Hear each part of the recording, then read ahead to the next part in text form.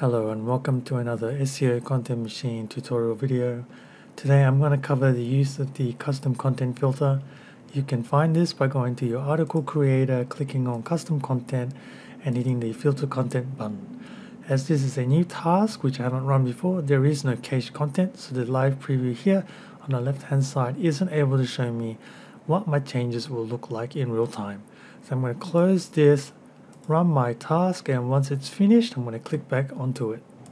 Once the task has finished running I can look at the task name and verify that there is something to live preview by the existence of this little cache label button. So I'm going to click on my task, go back to the filter content and here it is on the left hand side are all the sentences for the keyword that I used in my task which is green tea if you are loading in multiple different keywords, for any keyword that has a cache content existing, that is it's been run before, it's going to appear in this list and you can click down on it and select it to load the sentences that it found. So let's go through all the little tweaks that we can do. So the first one is to remove sentences using Wordsbox. So this is how you remove sentences from a list that include any words that you don't want to appear. So for example, I don't want any sentences with the word research in it. So I'm going to type in research, click apply filters. The number of items has dropped down and I can see that research doesn't appear in any of these sentences now.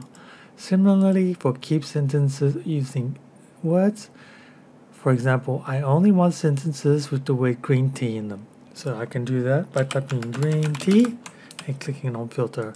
And I only see sentences in this list with the word green tea. You can add more words by putting on a new line. And now we move on to the more advanced module, which is replace words. This is basically a regex find and replace tool. So a very basic example is I want to replace the word green with the word red.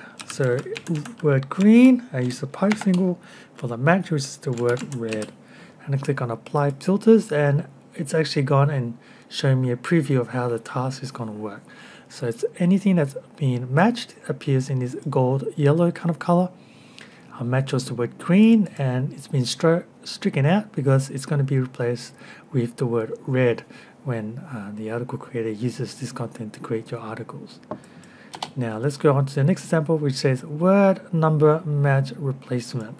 So this word followed by number is basically a wildcard that says any word. So if I do that and let's say we go back to the word green, typing green here and then once again red, apply filter.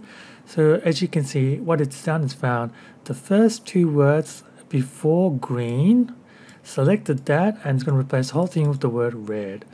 So for example, if we use tea here and we make that one, it's going to match green tea, red tea, yellow tea, any forms of tea that it finds and it's just going to replace it with the word English tea. Okay, so green tea has become English tea and uh, here we go. Let's see what other this really only has to word green tea, but you can see how this can be useful for brand names or maybe you've got content talking about green tea, red tea, etc. etc. Now, as I mentioned, this is a regex enabled find replace. So what that means is, for example, let's take this sentence here. It says, one way that green tea could aid weight loss. So let's say, I want to match the word green and also I want to match the word aid. And anytime that appears I'm going to just replace it with the single word red. So if I click apply filter so here we go. Anytime we the word green has been found it's becoming red. Anytime the word aid has been found it's also been red. So here's how you can stack multiple matches to get one replacement. If you know a lot more about regex um, you can google of course this is a very powerful way of matching words and replacing them uh, with any other word that you require. If you have any questions, feel free to make a comment in the video below or you can send me an email anytime info at seocontentmachine.com. Thank you.